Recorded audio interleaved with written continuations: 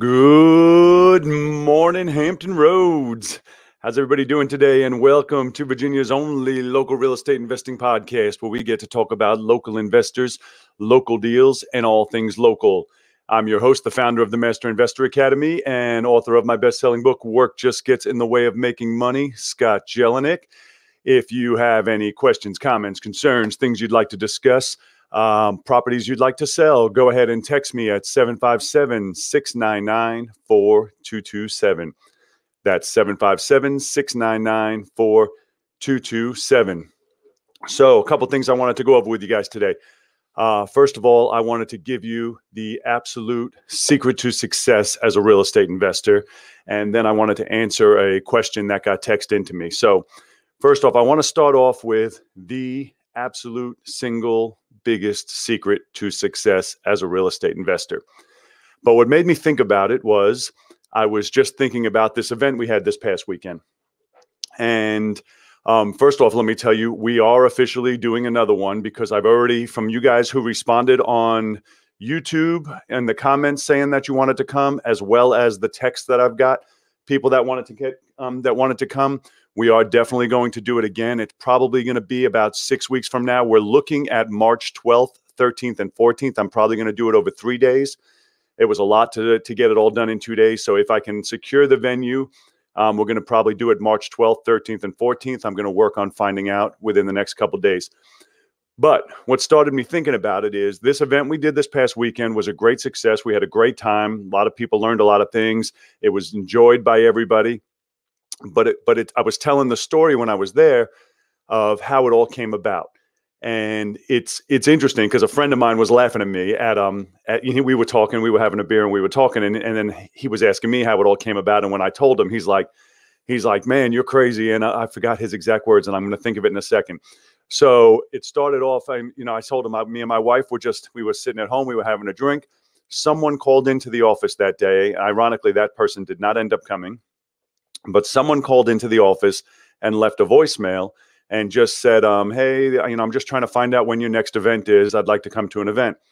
And so my wife and I were sitting there, and we were like, "Man, it's been almost a year since we had an event, and you know, we have to, uh, you know, what are we going to do?" And then so you know, we can't do anything. The rules, the rules right now is ten people, and and basically all live events have been canceled since last March. So we were sitting there, and then all of a sudden we were thinking, well, what if, what if we just had an event with 10 people? And um, we were like, oh, well, that would be at least legal. But the hotels already told us they wouldn't allow us because they wanted they wanted temperature checks and they wanted people to be separated by X amount of feet. And they wanted us, even for a small event, wanted us to have a 5,000 square foot ballroom. So then we were talking about it and we were like, well, what if we found a place that would allow this? And what if we met this criterion? What if we did that? And it was just something we were just um, spitballing, you know, talking about it. Maybe this would work, maybe that would work, because you know we all know real estate investing is going to blow up in 2021 and 2022. People are going to make fortunes that they will live off of for the rest of their lives. These are going to be some great years coming up. So anyway, so we talk about it all night that night, and we were like, yeah, I guess if we could figure out a way to pull it off, let's do it. So then the next day, I go to lunch and um and I'm with a with a friend of mine and we're eating lunch at this place that I've it's a private club I've been a member of for probably 15 18 years. And I'm eating lunch and then right before I left I started thinking about she's got that big um it's not a ballroom there but it's a big dining room. And so I asked her before we left I said hey are you open on the weekends? Because I've always been there. It's a weekday type place. It's in a big office building. And she says no we're closed on the weekends. And then I so that led to the next question. So I got a question for you. What would you charge me to rent this place? And you know, we started talking about it. So she says, okay, um, you know, I wouldn't mind doing an event like that. Let me work up some prices for you. But yes, we can do it. And I said, well, what about these dates? She says, yep, they're available. So I literally I leave out of there and I get in the car and I text my wife and I'm like, it's happening. We're doing an event just like that. Just like that. We had a conversation the night before. Next thing you know, we booked a place. And now, three weeks later, we had the event. It went great. It was flawless. Um, people had a great time. A lot of people learned a lot, and people are going to be successes because they attended that. So that's not it. So what started me thinking? So then I was talking to a friend of mine. I'm still trying to remember what he said. I was telling him exactly that story, and uh, and he said something to me, and I don't remember what it was. And he said, "Oh, that would be a great title for a book." And then he says, "Oh, I got to remember who I'm talking to. You'll probably have it out and published by tomorrow." And um and and that's what led me to think about what we were talking about today: the secret to success as a real estate investor. You guys ready for it? It's really simple. It is massive imperfect action, and you guys know this already massive imperfect action. And the reason we say imperfect is because nothing's perfect. And if you wait to have perfect, you will not do anything. We've discussed this over and over again. There is no such thing as perfect action. So you have to take massive imperfect action, which means if you've been on the fence, if you've been thinking about being an investor, or if you are an investor, but you're not working to your full potential, you're not doing the things you need to do, this is your wake up call. This is what you need to do to be successful. Massive imperfect action. You need to get out there and make it happen. And don't wait for it to be perfect. Go out there and screw it all up. Screw it all up, and you're still going to be further ahead than if you hadn't done it at all. I hope that I hope I'm resonating with you. This is why we say massive imperfect action, not dabbling, not doing one little thing. Do everything and don't worry about it being right. Don't worry about it being perfect. Just do it. So let's use some scenarios here let's say you didn't want to do your marketing yet because you don't think your logo looks good or your website's not just perfect yet or whatever. Don't worry about it. If you get any leads, now you're doing better than you would have done if you waited to market, correct?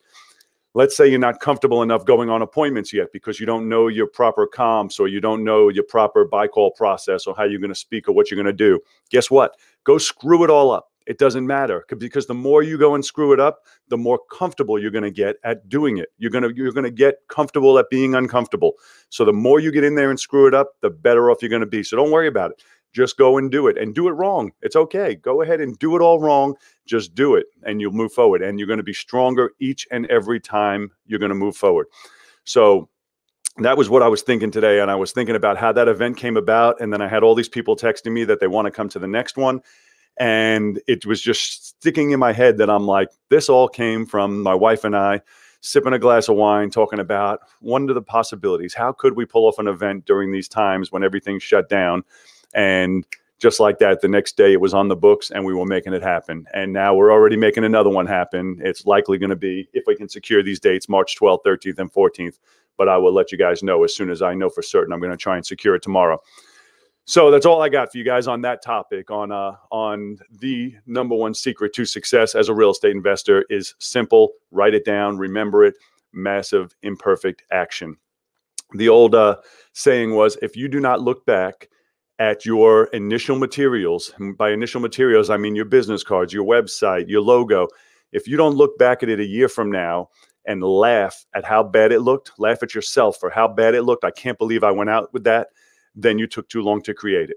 Okay. So what I'm saying is it should look bad. Just do it, get it out there. You can always improve it. You can always improve it, but just go out and do it. I hope that I hope that's getting through to you.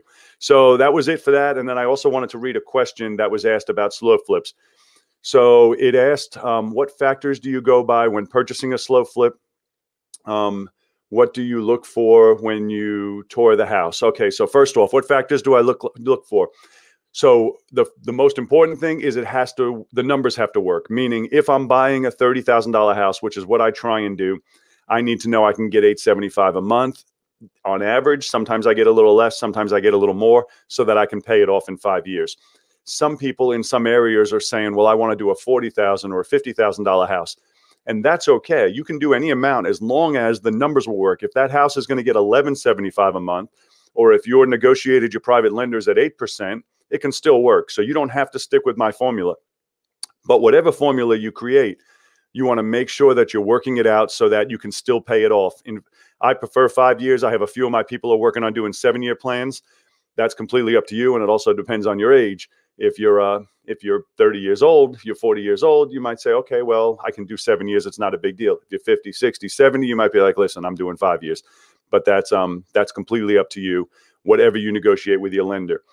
So, what do I look for? Typically, what I look for, I used to always tell people what I want is I try and find a house that's somewhat livable. Doesn't have to be beautiful, but somewhat livable. But there's exceptions to that. For instance, yesterday I was on an appointment with one of our partners. I think I told you about it. And the house was completely gutted. It was a good house, decent area, but when you opened up the door, it was completely gutted, like somebody started to renovate it and then actually someone did and then disappeared. And so that's not at all livable. But it doesn't mean we'll say no to it. We're just going to price it accordingly.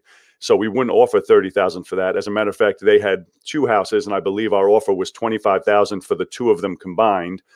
So if you can get the price right, then we can overlook some other things because now I might be able to sell it to a, a, contractor and charge him significantly less per month because there's going to be two houses to make up for that payment. So let me read. I think she had a third part to that question. Oh, okay. It was asked, do I consider if it's a landlord friendly state or strict foreclosure laws? Um, we don't do foreclosures on land contracts or contracts for deed. We, we, we evict just the same as if it was a tenant. So I can't speak for every single state, but when, what we do here is we use contract for deed. And if somebody defaults, there is no foreclosure. We do the same process as if we were evicting a tenant. So, um, so that wouldn't be an issue. If, if you're looking to go outside of your area, and you want to check for landlord friendly states, I wouldn't worry about the foreclosure laws. I would worry about the eviction laws. So every state's different. But um, but that's my, in my area where we are. Seven Cities of Hampton Roads is my primary investment area. We evict just like it was a regular tenant. We do not do any foreclosures because the deed's still in our name. We'd be foreclosing on ourselves. Um, so I hope that helps. I hope that answers your question. If uh, if you guys have any questions, feel free to text me 757 699 4227. Um, go out there and do something today your future self is going to thank you for. And the way you're going to do that is by taking massive, imperfect action. Go ahead, click the like button, subscribe to the channel so I know that you're out there and uh, greatly appreciate it. I know you guys been doing it and I do like it. So I know that you're out there watching and uh, you have a fantastic day and I will talk to you tomorrow.